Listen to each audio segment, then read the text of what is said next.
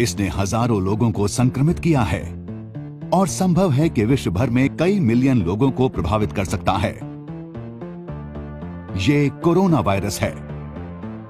क्या हो अगर आपको ये बीमारी हो जाए? ये आपके शरीर पर क्या असर डालेगा? अगर आपको ये हो जाए तो आपको क्या करना चाहिए? और आपके इससे बचने के क्या आसान हैं? आप देख रहे हैं क्या हो अगर। और ये है, क्या हो अगर आपको कोरोना वायरस हो जाए? कोरोना वायरस या कोविड 19 जंगली जानवरों से शुरू हुआ। कोरोना वायरस बूंदों से फैलता है।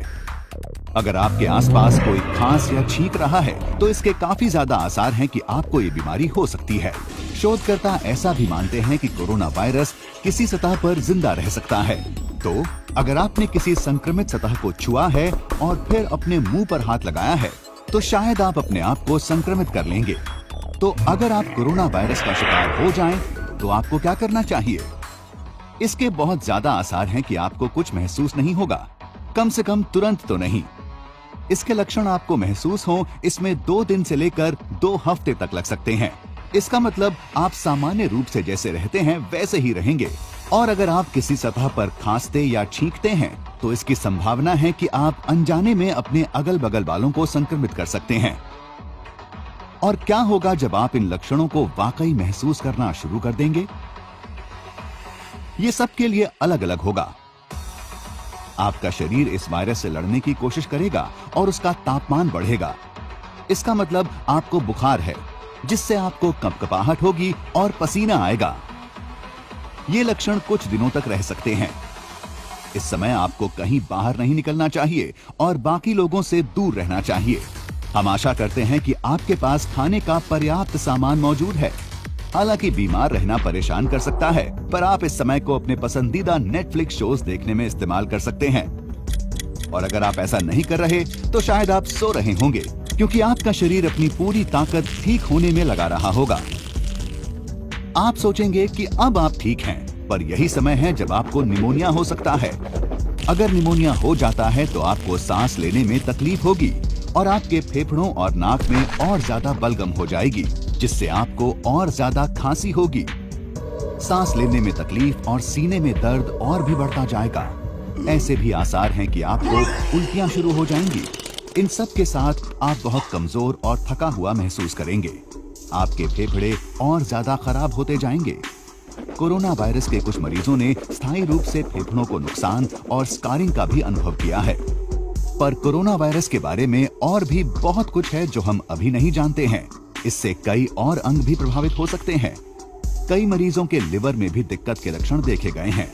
तो अगर आप इनमें से किसी भी लक्षण का सामना कर रहे हैं तो आप हॉस्पिटल जाना चाहेंगे। इस समय आपको क्वारंटीन यानी एक अलग जगह रखा जाएगा ताकि आप किसी और को संक्रमित ना करें। दुर्भाग्य से डॉक्टर्स आपको गारंटी नहीं दे सकते कि वो आपको ठीक कर देंगे। और कोरोना वायरस के लिए कोई वैक्सीन यानी टीका शायद अगले साल से पहले नहीं मिलेगा। पर वो आपको पेन किलर्स यानी दर्दनाशक दवाइयाँ और काफ़ी सारे तरल पदार्थ देकर आपको बेहतर महसूस कराने की पूरी कोशिश करेंगे। जैसे जैसे समय बीतेगा, आपका शरीर शायद प्राकृतिक रूप से कोरोना वायरस से ठीक हो जाएगा। पर ऐसा तब होगा जब आप एक स्वस्थ इंसान हो। अगर ऐसा नहीं है तो कोरोना वायरस से ऑर्गन फेलियर और फिर आपकी मौत भी हो सकती है। ऐसा देखा गया है कि जिन मरीजों को कैंसर और डायबिटीज़ जैसी बड़ी बीमारियाँ हैं, उनके कोरोना वायरस से मरने के ज़्यादा आसार होते हैं।